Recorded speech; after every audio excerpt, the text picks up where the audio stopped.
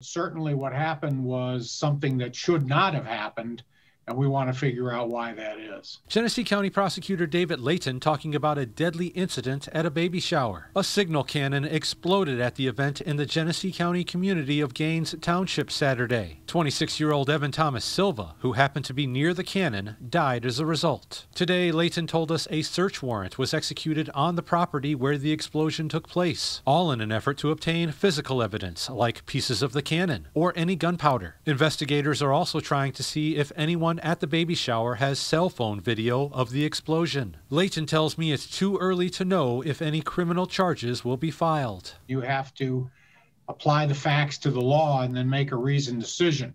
Certainly, we take into account uh, the victim, the victim's family, and their thoughts and concerns. And by law, we have to because of the Michigan victim advocacy rules and laws that are on the books. But prosecutor in the end has to make the tough calls. Leyton says it might be a while before he has to make a tough call. He tells us investigators still have a lot of questions to answer. It's going to take them some time to do a thorough review of what occurred. If they try to piece the cannon back together, they might need some uh, ballistics experts. They might need uh, gun gunpowder experts. There, there's a whole lot that goes into this kind of thing.